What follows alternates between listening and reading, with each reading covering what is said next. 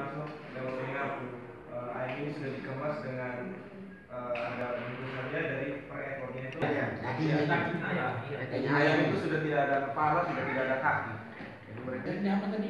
Pelni. Pelni. Nah, fotonya sudah ada, sudah saya sudah pergi ke tempat-tempat penumpukan penumpukan ini saya foto secara ini. Tahu tempat penumpukan? Tahu, saya tahu. Tempat tahu. penumpukan? Tahu. Di pusatnya mereka bukan ada di Wailiang semua. Siapa? Siapa? Di- ada salah satu pol pp nama Neneng itu salah satu pemasok juga. Terus di dorong situ.